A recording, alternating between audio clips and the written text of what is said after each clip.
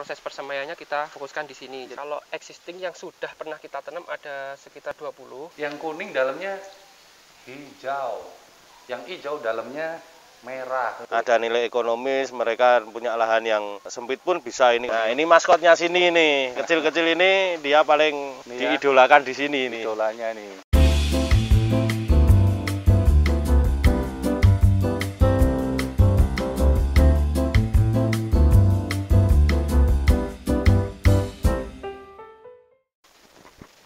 Assalamualaikum warahmatullahi wabarakatuh. Balik lagi di channel Domba Berkah. Nah, kita masih ada di Semarang ya. Cuman kali ini kita lagi ada di perusahaan Agro Bergas Sejahtera ya. Iya. Saya ketemu sama Mas Devi Setiawan ya, Mas Devi. Ya. Apa sih yang menarik dari Agro Bergas Sejahtera di sini? Kalau kemarin-kemarin kita bicaranya seputar peternakan, peternakan kambing domba. Nah, atau menariknya nih yang pasti kalian akan tertarik untuk lihat liputan kali ini adalah Agro Bergas Sejahtera ini mengkombinasikan nggak cuman peternakan kambing domba, tapi di sini ada perkebunannya Mas ya. Iya. Perkebunannya ada, kemudian ada perikanan juga ada. Nah, kira-kira nanti kalian akan tahu semuanya diceritain sama Mas Devi ya Mas ya. Iya. Kita akan keliling-keliling. Nih, kita nyebutnya apa nih? Eh, Perkebunan. Agro aja enggak apa-apa. Agro ya, agro, satu konsep Bergas Sejahtera bergerak di perkebunan melon. kebunan melon itu inti melon. bisnis Ya. utamanya ya, tapi Ya. sekarang sudah dikombinasi dengan bisnis yang lain, Perikanan dan peternakan. perikanan dan peternakan. Oke, nah buat kalian yang suka sama channel ini, jangan lupa di subscribe, like, share, dan komen. Oke, yuk ikutin terus liputan kita dan kita akan keliling-keliling di seputar Agro Berkah Sejahtera. Oke, yuk kita sambil jalan. Oke, Mas Devi, nih kita pengen tahu nih cerita suksesnya dari Agro Bergas Sejahtera ya. Sebelah kanan kiri kita ini kita lagi ada di greenhouse ya. Iya, greenhouse. Perkebunan melon. Boleh mungkin Mas diceritain sejarahnya awal atau kira-kira inti bisnisnya dari Agro Bergas Sejahtera seperti apa gitu. Kemudian nanti kita akan bicara kombinasinya nih. Jadi awal pertama didirikannya Agro Bergas Sejahtera ini berawal dari karena di sini wilayah daerah wisata khususnya di Bandungan. Oh, Nah, ya. tiap Sabtu Minggu itu kalau di Bandungan itu pasti macet. macet pasti Nah. ya kayak puncak ya. Ya betul. Nah tujuan awal karena kita letaknya di desa yang sebelum arah ke Bandungan, makanya kita tujuannya ke depan untuk agrowisata itu kita istilahnya orang Jawa cegat. Ya, Oh. ke- kelihatannya di sini. stop ya. Nah di stop di sini diarahkan ke sini biar eh, orang jenuh dengan macet, akhirnya larinya ke sini Iya, gitu. Selain kita pasarkan di supermarket supermarket, kita juga bisa pasarkan di sini juga. Gitu, Mas. Nah, selain itu kita me- mau apa mengangkat perekonomian Lokal ya. lokal karena Lokal yang ya. kerja juga orang-orang sekitar sini Orang juga. sekitar sini semua ya. Nah, terus dari selain itu kita juga memanfaatkan limbah-limbah sini untuk pekerjaan ya meskipun tidak kerja di sini, Ya. mereka bisa mendapat penghasilan dari sini juga. Apa itu Mas limbahnya kalau boleh tahu Eh, apa? kayak kopit media tanam itu kita kemas, lah mereka warga-warga sekitar sini yang berminat bisa memasarkan. Oh, jadi itu nanti mungkin yang akan kita lebih detailkan ya. Ya. Jadi banyak limbah yang bisa dimanfaatkan dari perkebunan melon ini Ya. sehingga nanti kita bisa kombinasikan ke eh, subsektor industri yang lain. Ya, nah, betul. ini mau kita mau ke mana nih, Mas? Kita ke ruang semai dulu. Oke, apa-apa. kita jalan ke ruang semai yuk ya. kita masuk ke ruang semai. Jadi Ruang semai, awalan ya. untuk kita tanam itu dimulai dari ruang semai. Itu kebetulan ada Mas Oki, itu tenaga ahlinya sini. Dia lulusan pertanian dari Universitas Negeri Jember. Oke. Ya. Kita pengen tahu di Ya. dalam ruang semai. Assalamualaikum, Mas. Eh, nanti bisa nyambung sama Mas Oki. Oke, berarti nanti kita ketemu lagi setelah saya keliling dari Ya. sini ya, Ya, Mas ya. nanti bisa langsung ketemu ke di kandang. kandang peternakan. Ya, Oke.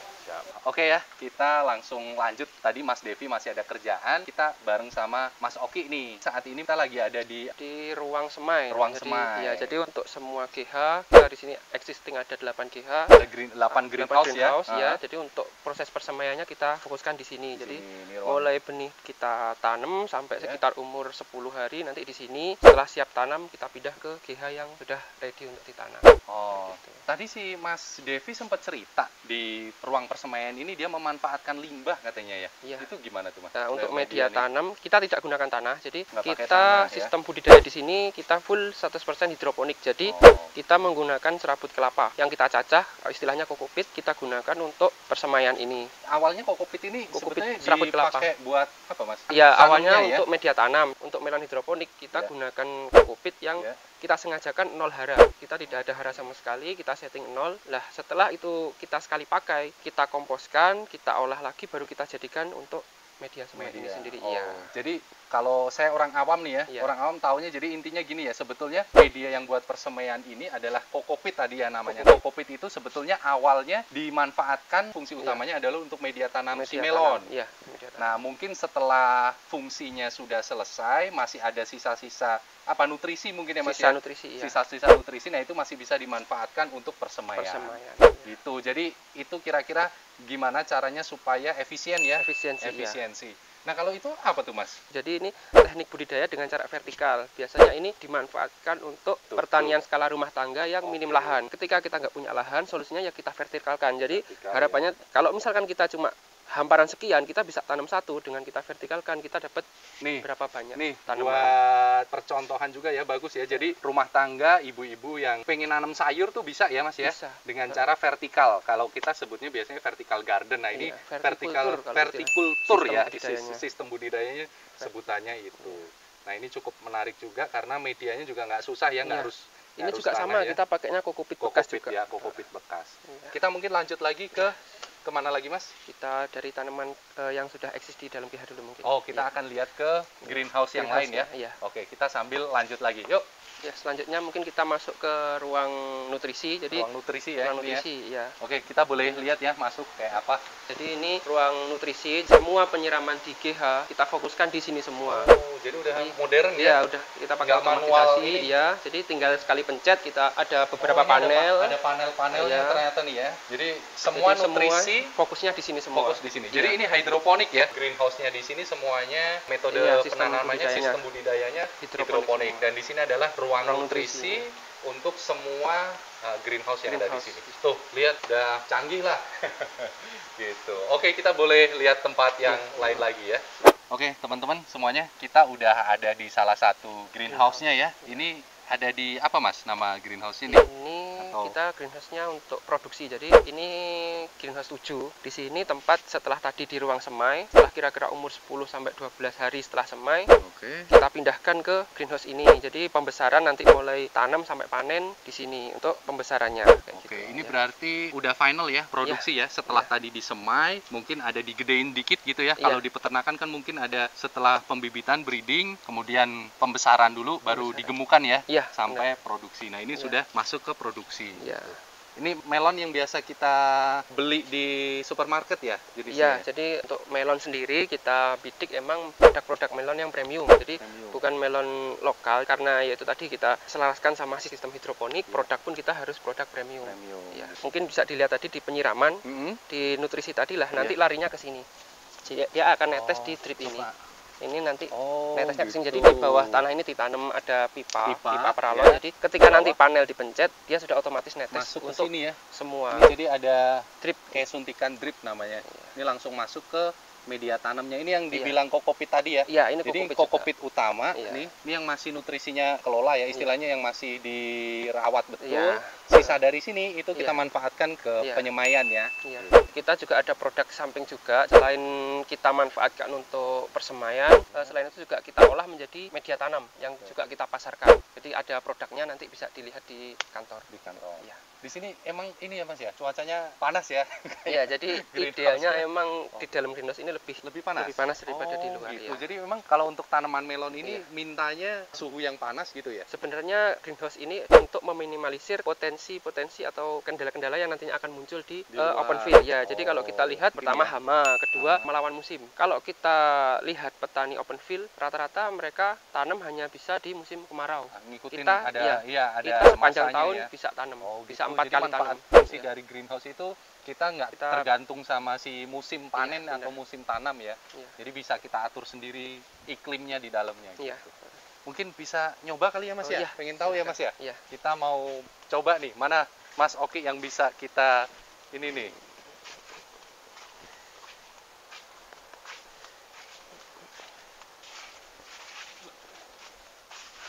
Ini mungkin bisa.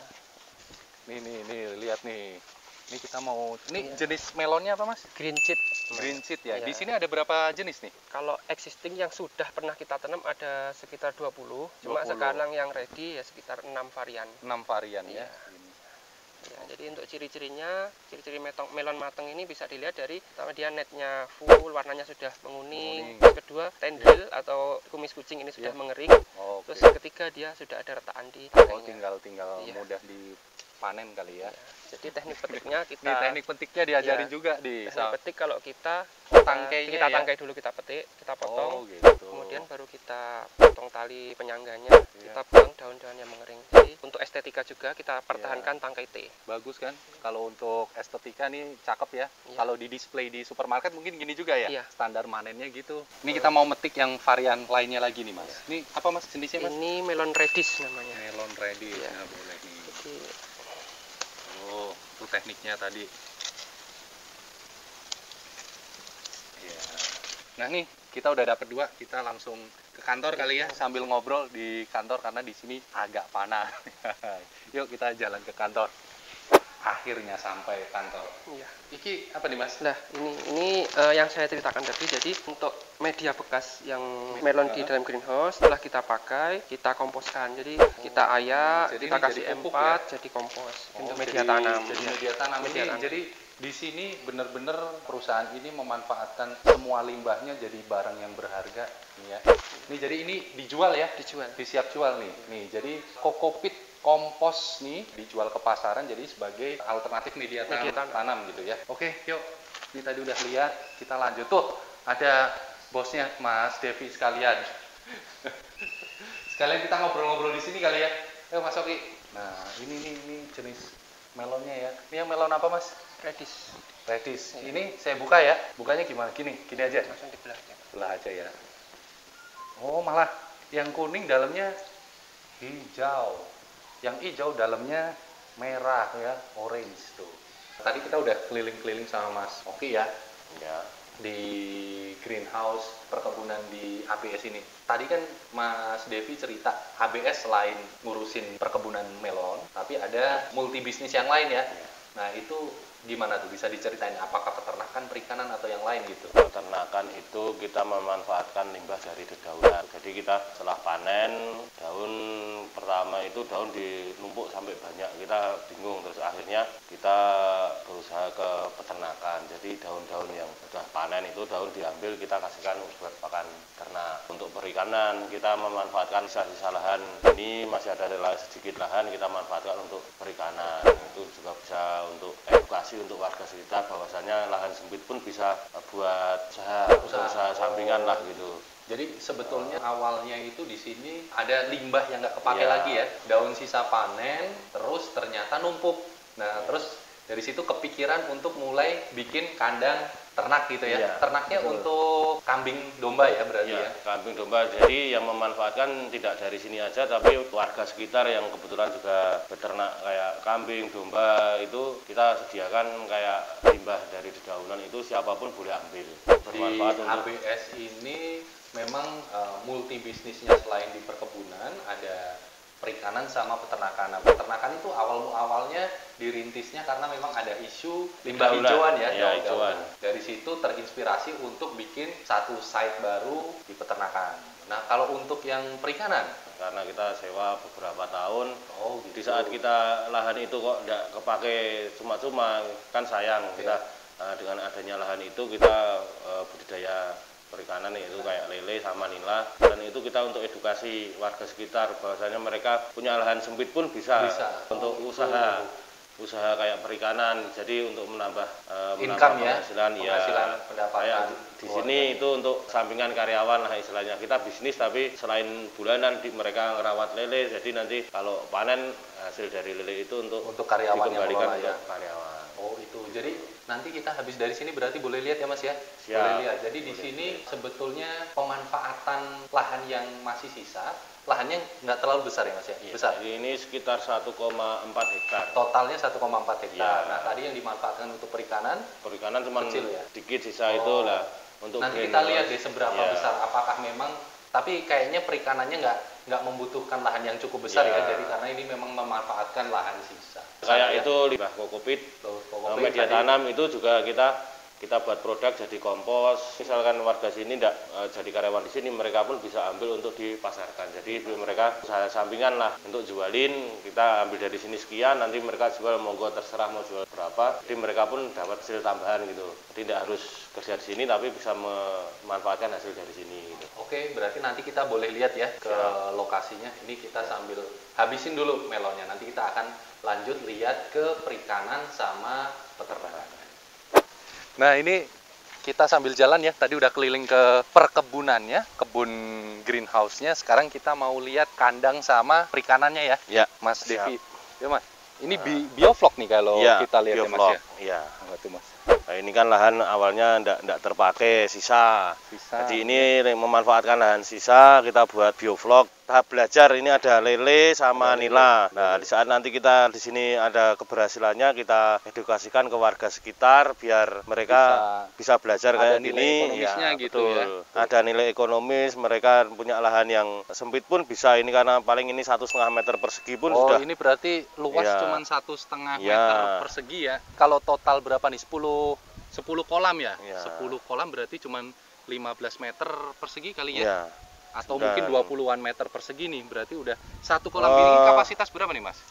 Ini sekitar 500-an lah. 500, 500 ekor, Ini lele bisa, ya? ya lele, Lele bisa. ya. Lahan ini istilahnya 10 meter kali ini lebarnya, Lebarnya paling cuma 2 meter aja 2 udah meter. bisa lah. Iya, berarti 20 meter ya. 20 Ya, meter bisa ya, dapat betul, 10 kolam. Jadi buat Ya. kalian yang punya lahan tidak terpakai misalkan di kanan kirinya kebun kalian atau kandang kalian juga bisa dimanfaatkan nih Untuk buat sekalian biovlog gitu. Ini ya, Sambil buat hiburan tapi ada hasilnya. ada hasilnya. Itu cakep banget tuh. Jadi memanfaatkan semua sumber daya yang ada. Nih, kita udah lihat di sini, lanjut kita pengen tahu ke peternakannya. Ya, Ayo, siap. kita sambil jalan. Nah, ini kandang apa nih, Mas? Kayak kandang Eh, ayam ya? Ini kandang ayam Kandang punya ayam. warga sekitar Bisa jadi lihat situ. tapi udah panen, Mas. Oh, udah habis panen. panen habis diambil kemarin jadi itu posisi ya. kondisi kosong. kosong gitu Nah, jadi ya. meskipun kita pertanian kayak gini kita pun bisa berdampingan dengan petani lokal, Oh. bisa berdampingan dengan Bagus juga. Para ternak juga. di situ itu di sebelah kanan masih ada Ya. pertanian jagung ya. Ya. Itu bisa buat sumber pakan ternak kita Ya. juga ya. Nah, yang di sini rencana buat taman nanti. Taman. Jadi buat Nah, budidaya tanaman bunga ya, ya, tanaman bunga. bunga, buat taman bunga. Jadi kalau orang ke sini tidak melulu ke melon. Melon, melon ada. Dia pulang bisa bawa melon sini, nanti ke depannya jual lele juga, bunga juga. Oh gitu. Jadi, Jadi semua yang ada di sini bisa ada nilai ekonomisnya semua. Oke, bagus tuh. Itu jadi yang bisa kita ambil pelajarannya dari agro bergas sejahtera ini ya, multi sektor yang dikelola Ya. di sini ya, mulai dari perkebunan, ini ada Perikanan, perikanan, ini peternakan peternakan. ayamnya udah ya. eh, panen, jadi kita nggak bisa lihat. Pertanian, Pertanian juga, juga. ada. Nah, kita sekarang jalan ke kandang kandang, kandang domba. domba ya, kandang Ya. domba. Yuk kita sambil lanjut lagi. Nah, Nah. ini kita udah sampai ya di kandang dombanya. Boleh? Ya Mas ya? Boleh, siap. Yuk, Masuk kita aja. sambil. Nah, ini pas Bukan Lagi pas makan dikasih. siang nih ya? Ya, Pak. Eh, Lagi tadi makan kalau siang. pagi kita pakai comboran bekatul sama kulit kacang hijau. Siang kita kasih hijauan, nanti sore hijauan lagi, malam hijauan lagi. Oh, berapa kali? Banyak banget ya? Pagi comboran, siang hijauan, malam hijauan lagi. tiga, tiga kali, kali. ya, tetap tiga kali ya. Ini tadi yang cerita awalmu awalnya. Ya, Ini kandang baru berapa lama, Mas? kalau pertama yang kecil di sana itu sudah satu tahun lebih sedikit lah. Satu tahun. Terus lebaran Idul Adha kemarin karena permintaan terlalu banyak, akhirnya dua minggu jadi kandang ini. Oh, Disulap. Ini, ini jenis domba-domba ya, banyak kan ya? Ya, domba semua. Jadi ini baru umurnya belum belum nyampe 2 tahun ya, hampir 2 tahun ya. Belum. Kapasitas produksi Kita di sini kapasitas itu sekitar 80 ekor. 80 ekor, oh, tapi kandangnya luas. Nanti kita lihat tengok ke dalam. Ada bermacam jenis, ada merino, domba priangan, domba gibas, ada semua. Nah, sini si Mas Devi kalau di sini sifatnya ngumpulkan dari warga sekitar juga gitu ya. Eh, kita breeding juga iya, dari warga Iya. sekitar juga iya. Jadi kita intinya kita bantu warga sekitar karena kendala selama ini di pemasaran. Pemasaran. Nah, mereka istilahnya kalau sama tengkulak itu mereka enggak istilahnya kurang menghargai masalah Harga harga. ya. harga. Apa nilai kerja jualnya keras kurang iya. kerja kerasnya kurang kurang dihargai. kurang ini ya, kurang Nah, nilai tinggi makanya Iya. Mas Devi ini uh, punya ide untuk menjembatani ya, Ya. menjembatani jadi supaya para peternak lokal tuh yang di rumahan itu value-nya naik. Jadi beliau ini bikin kandang di Ya. sini untuk memasarkan karena channel pemasarannya udah cukup Ada. ya lewat tadi. Mungkin kan customer Ya. dari perkebunan, Betul. dari perikanan udah mulai banyak, dia mulai bangun ini. Nah, ini tapi dari sisi nilai ekonomisnya menguntungkan ya Mas ya? menguntungkan sekali. Menguntungkan sekali. Idul Adha kemarin itu saya cuma punya stok untuk korban itu lima ekor. Lima Tapi ekor. karena permintaan terlalu banyak, akhirnya dari punya warga-warga sekitar dikumpulkan di sini kita bantu untuk jual. Oh, jadi memang di sini Iya. shelter untuk marketingnya ya. Tuh. Boleh kita lihat sana tuh ya Mas ya kayaknya ada merino juga Iya, ya. ada. Yuk kita sambil jalan. Monggo. Ini bakalan untuk rencana Idul Adha tahun depan. Tahun depan ya. Ya, Tahun ini depan. dipersiapkan dari sekarang. Dari nah, ini sekarang. induan-induan branding. Oh ini, betina-betina hamil, hamil. ya, betina hamil ini nih. tinggal tunggu kelahiran. Betina Nah, ini hamil betina ya. hamil. Jadi di sini ada breeding, ada fattening juga ya, pengemukan Iya. untuk siap itu. Nah, ini yang merino. Ini ada jenis merino juga, Nah, yang ini anakan. akan merino. Nah, ini maskotnya sini nih. Kecil-kecil ini dia paling Ini ya. diidolakan di sini nih. idolanya nih. Nih, Jantan. tuh. Lucu ya. Ini bisa buat mainan. Nah, cerita menarik lagi yang bisa di-share ke teman-teman apa tuh Mas dari sisi ekonomis atau dari sisi apa nih?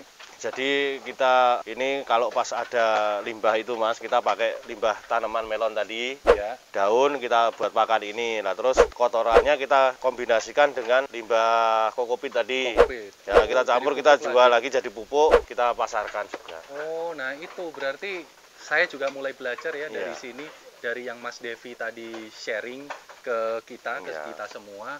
Jadi nggak ada yang terbuangan sama sekali nih teman-teman Iya. ya. Mulai dari perkebunan tadi limbahnya itu bisa jadi supply alternatif pakan untuk kandang peternakannya di sini ya. Kembali lagi kotoran yang ada di kandang ini dimanfaatkan untuk Pupuk. pupuk ya. Eh, karena cenderung gini Mas, orang-orang perkotaan itu jiwa untuk tanamnya tinggi.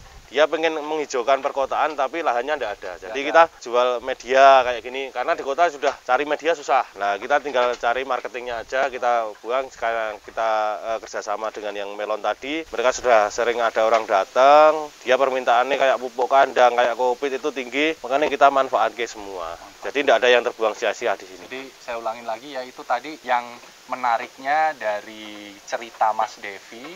Jadi mulai dari perkebunannya, perikanannya, sama peternakannya itu siklusnya simbiosis mutualisme semua. Iya. Jadi limbah yang ada dari perkebunan itu dimanfaatkan untuk suplai asupan pakan di kandang ini peternakan. Ya, Kotoran dari si kambing-kambing ini ternyata dimanfaatkan kembali untuk makanan Pertanian. atau untuk kompos pupuk dari peternak eh, dari perkebunannya. Gitu. Itu Ya. menarik sekali sih Mas. Ya. Ya. siap. Kita mungkin naik ke atas kali ya. Bisa. Yuk kita sambil lihat naik dari atas gitu. Nah ini situasi di dalam kandangnya ya. Nah kalau kunci sukses tadi selain pakan dari limbah sayur itu atau limbah hijauan itu apalagi mas? Ini kayaknya seger-seger banget kan ya. Kita kasih katul untuk comboran pagi Oh sama, combo comboran pagi ya. Ya. Nah sama kulit kacang hijau. Jadi ada petani misalnya ada kayak petani tanam kacang hijau cenderung biasanya dibuang cuma-cuma kita ambil kita manfaatkan. oh kalau untuk konsentrat atau fermentasi enggak? Saya tidak pakai fermentasi. Oh tidak pakai fermentasi. Paling kalau ini Mas kalau mendekati Idul Adha baru kita tambah brand sama sentral. Keren sama Bulan sentral. sebelum Idul Adha itu Buat untuk pengemukannya ya. Oh, jadi sebenarnya di sini sepanjang tahun semua jenis pakannya itu bisa dibilang pakan pakan langsung dari alam ya, Iya, atau saya iya. bilangnya organik lah ya. Iya. Jadi kualitas dagingnya bisa bagus nih. Nah, ini berarti jualannya gimana nih? Kita jual induan pada intinya semua yang ada di sini diperjualbelikan. Kayak yang mau beli bakalan bisa datang ke sini, kalau yang mau beli induan hamil kayak gini bisa Bisa di bisa sini. ke sini terus mau akikoh yang Itu bisa di sini akikah juga. ada. Di sini semua dijual. Jadi mulai dari bakalan, teman-teman peternak yang mau cari bakalan buat digemukin itu bisa. Yang mau cari indukan buat breeding bisa juga. Dan buat yang untuk konsumsi daging itu seperti akikah atau potong itu ada juga gitu ya. Ya. Baik untuk harian maupun untuk kurban. Nah ini lokasinya ada di mana teman? Desa Bergas Kidul RT 01 RW 1 Kecamatan Bergas Kabupaten Kabupaten Semarang ya. Nah, buat teman-teman semuanya yang ikut tayangan ini, yang mau belanja silahkan ya, nanti kita bagi informasinya. Oke, mungkin Ya. itu ya, Ya. Mas Devi. Saya Ya. kira terima kasih banyak nih ilmunya, sharing informasinya banyak sekali yang kita dapat tadi ya, terutama cara kita mengkombinasikan supaya efisien itu menarik sekali untuk kita pelajarin. Saya terima kasih sekali. Sama-sama. Ya, buat teman-teman yang ikutin tayangan ini, semoga tayangan ini bisa bermanfaat ya. Amin. Nah, buat teman-teman juga jangan lupa untuk ikutin terus tayangan-tayangan kita berikutnya. Oke, mungkin sekian cukup dulu dari kita. Wassalamualaikum warahmatullahi wabarakatuh. Waalaikumsalam.